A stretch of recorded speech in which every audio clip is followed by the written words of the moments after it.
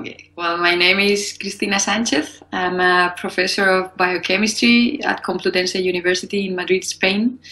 And I have been working uh, studying the anti tumor effects of cannabinoids for the last 15 years. Regarding the amount of THC and CBD that a cancer patient has to take in order to cure his or his, her cancer.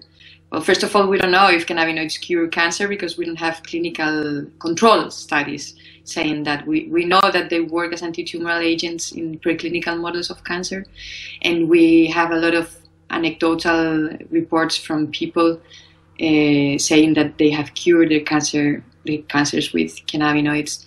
But uh, uh, from the medical community uh, perspective, we don't have that evidence uh, yet that cannabinoids cure cancer.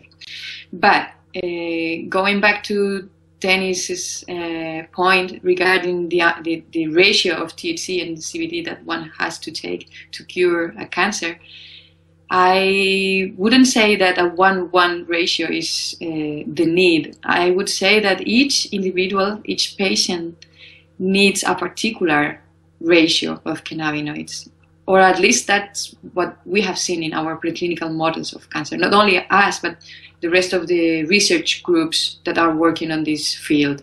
What we see is that uh, some types of tumors, for instance, glioblastoma, brain tumors, in these cases, more THC works better than a 1 1 ratio. On the other hand, in breast cancer, which is the type of cancer in which I work, uh, we have seen that more CBD works better than a 1 1 ratio. So I would say that, and this is the case for other medicine, other anti cancer medicines.